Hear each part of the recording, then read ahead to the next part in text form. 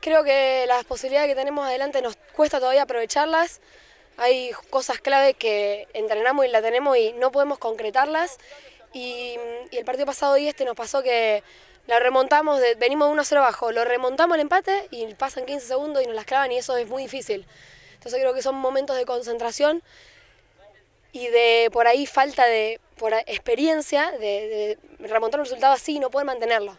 Igual creo que también los árbitros cometen un error ahí porque creo que es una regla del flick que está complicada, me parece que no, los árbitros no se ponen de acuerdo y es, creo que hay que reverlo. Yo estoy muy contenta, eh, la verdad fue un partido duro, creo que supimos mantener los tiempos, que es algo que nos faltaba, así que muy contenta con los goles, principalmente porque es algo que estamos practicando.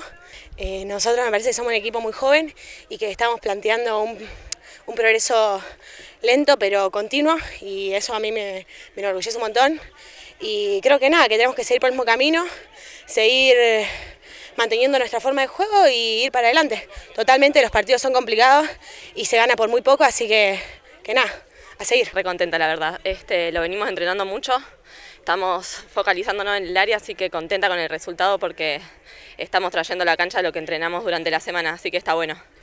Más que nada ahora estamos mejorando el tema área, más que nada. Eh, fue un proceso de todo el año, ¿no es cierto? Y está bueno, estoy contenta de que realmente estamos entrenando bien y se nota en la cancha y, y, en la cancha hacemos lo que hacemos en el entrenamiento, entonces está bueno. Bueno, le hiciste caso porque hiciste dos golazos, así que por eso te, ganaste el regalito Capitán Hockey. Espero que, que lo disfrutes. Bueno, muchas gracias.